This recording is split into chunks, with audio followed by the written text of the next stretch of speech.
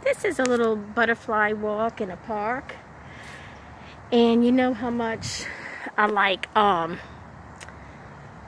showing things in a park in nature. So we're just going to take a little tour of it. Here's some plants.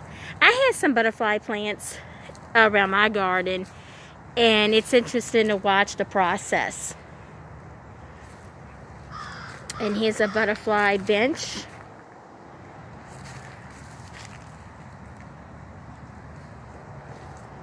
And the um, caterpillars are around all year round around my house.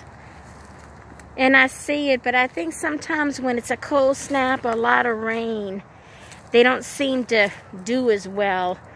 But I still notice it all year round. I've been trying to attract hummingbirds to my yard, and I have never really had a whole lot of success with that.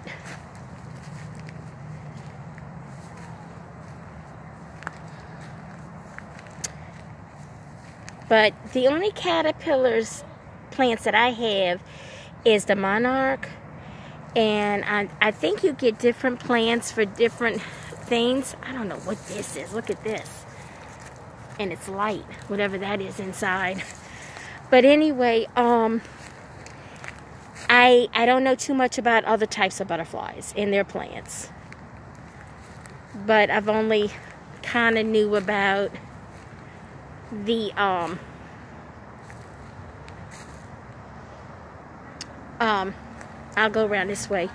I only know about the uh, monarchs. I think there was something over here. Let me see if I can go in there real quick.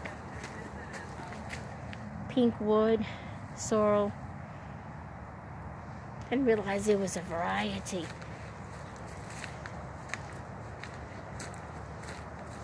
Now this, I think, might attract the hummingbirds, if I'm not mistaken. I think that's firecracker. I could be wrong, but somebody told me about that. I was in a Home Depot, and she says, get this. Some lady was buying it for her, you know, attract hummingbirds. And she said to get it, and I got it. And it's doing fine, but I haven't seen any hummingbirds. I put up the feeders. Everything. I don't, I hear the bird, I don't see the bird. Or is that an insect? That's kind of freaky. and I think we're leaving the butterfly garden. So, that might be it, guys. Monarch Way Station. That's what that says. Sign says. Okay, guys. I'll talk to y'all later. I hope you have luck with y'all flowers and plants. Bye.